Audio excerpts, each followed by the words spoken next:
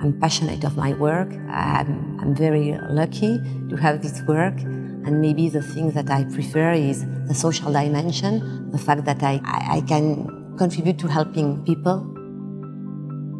I'm Dani Tost. I'm the current director of the CREB, the Research Center of Biomedical Engineering. We have been uh, working uh, for more than three decades on the solution of technological problems in the biomedical fields.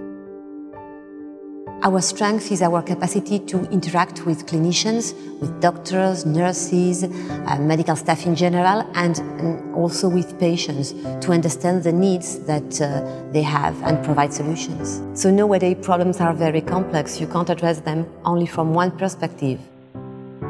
We have uh, biomechanics, biomaterials, we have robotics, medical robotics. We also work on instrumentation and eHealth, biosignals and systems, ionizing radiations, big data analysis, and computer graphics.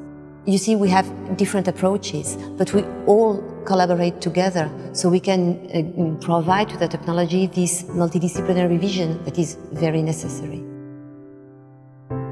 So we are located at the university. This means that we are surrounded by passion, by motivation, because our students, uh, researchers, technicians, professors are uh, very motivated in what they do. And this is especially because they know that at the end, uh, what we do will contribute to enhance people's life.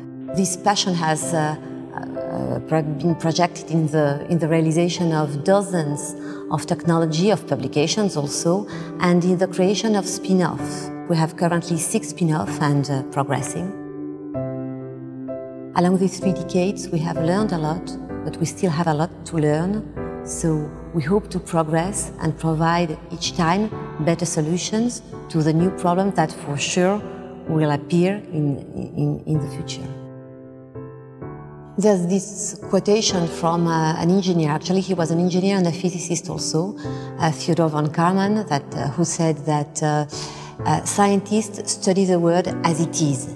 Engineers create the world that has never been. So at CREB, we like to think that we can contribute to create this world that has never been in the field of biomedical technology. A world that should be better.